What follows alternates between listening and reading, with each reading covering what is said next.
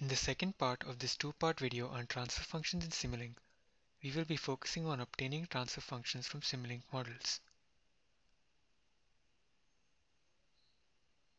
Run the model to see how the actuator input affects the engine output. Now that we have our model, let's try and represent it as a transfer function. The linear analysis tool provides an intuitive and interactive way of doing so. We start by defining the inputs and outputs of the transfer function. Let's choose the input to be the input to our system. For our outputs, let's choose the actuator output as well as the engine output to see how they both respond to a given input.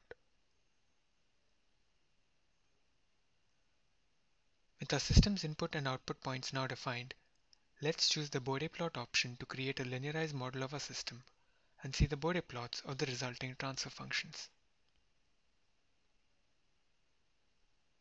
Use the Plots and Results tab to further analyze the linear model that's been created. The results viewer allows you to view the model using different representations as shown.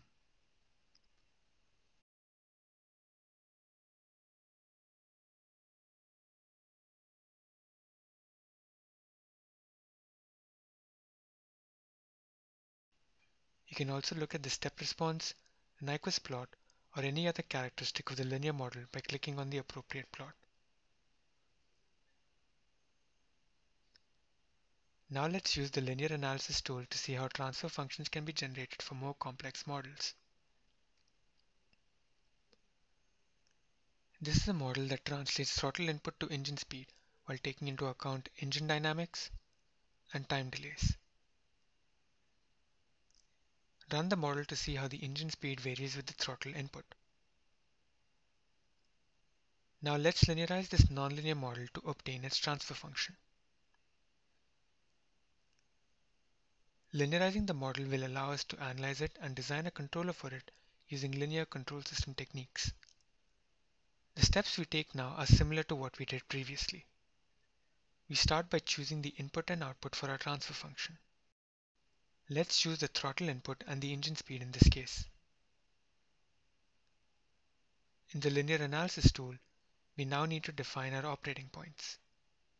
Linearized models are only valid at the operating point they are defined for. The throttle input looks like it has a few different stages before it settles, so let's choose an operating point in each of these regions. Now click on the Bode plot. The lines displayed are the Bode plots of our linearized system at the operating points we have defined. Once again, we can use the results viewer to see the linearized system at the different operating points and represent it in different domains. You can also export the linearized system to the MATLAB workspace by simply dragging and dropping the variables. You can now use these variables to perform analyses and design controllers using techniques like root locus, Bode plots, etc.